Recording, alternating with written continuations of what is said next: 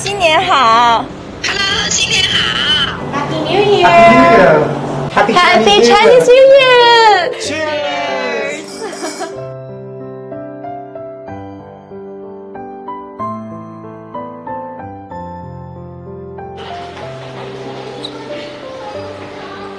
你干啥呢吗？我刚上完课，大娘、老姑、大爷。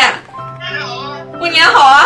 我叫张萌，去年九月份来到香港，目前就读于香港浸会大学的传理学院。离家远，每逢佳节倍思亲嘛，所以我也比较想我的家人。那可能就只能通过视频来排解，所以我也特别特别希望，呃，疫情赶快结束，然后能够和内地通关，这样可能半个月啊，或者是一个月就能回去见一次家人。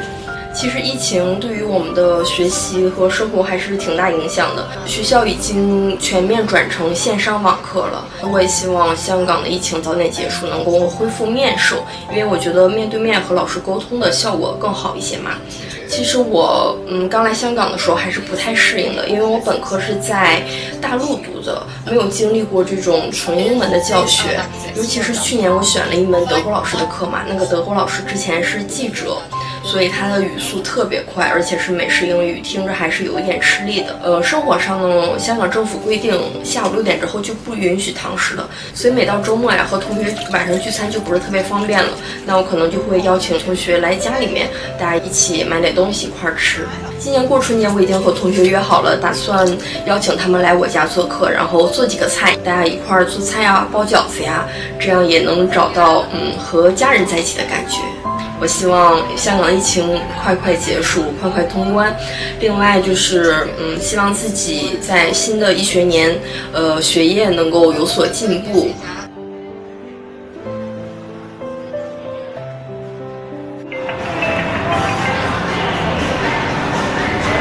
Hi，Yeah，this is Laura. How are you？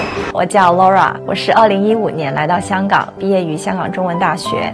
现在在一家科技企业当国际公关，我觉得疫情多多少少会对生活工作产生一定的影响的，因为现在大家都已经居家办公了，通过网络可以节约了通勤的时间，然后减少了病毒的传播。那么当然是最理想的状态之下，也是希望说疫情能够赶紧的过去，大家能恢复一个正常的生活的状态。今年其实是我。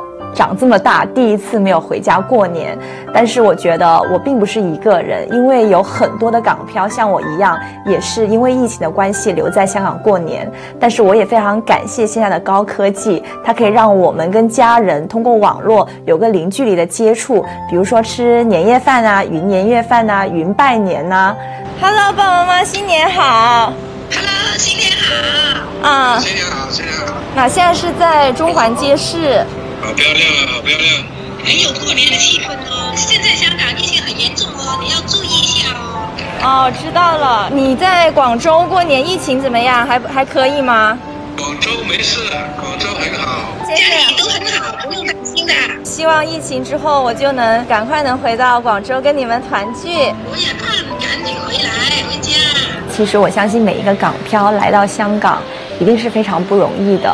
我自己觉得非常困难的时候，其实是我刚毕业，当时呢，我是进入了一家外企，然后在那个团队里面，我是第一个。呃，内地背景这样招进去的。我记得在一次开会的时候，啊，我的英国大老板在会前讲了一个英国式的笑话，当时大家都哄堂大笑。当时我就非常尴尬，因为我 get 不到他那个点。那一段时间我的情绪非常的低落。这个时候呢，我领导就找我进去谈话，他就问了我一个问题：Laura，你觉得你的优势是什么？然后我才意识到，哦，其实自己相比于外国同事来讲，我更加的了解我们中国的文化和市场。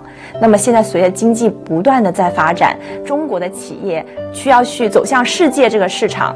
那么同时，很多外国企业也看到，呃，咱们中国内地市场的这个商机，其实可以用我的专业的成绩以及两文三语的这样的一个优势。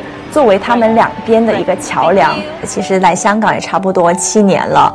这七年，其实我见证到了非常大的变化，内地与香港的连接是越来越紧密了。我还记得我当时来香港读书的时候是没有大湾区这个概念的，身边的年轻人他们也越来越的关注大湾区，关注内地市场的发展，也更加的愿意呃去了解内地的市场。那我自己觉得非常开心的是，呃，我在香港已经开始有了呃自己的朋友圈。啊、i n Chinese we pronounce "fu"。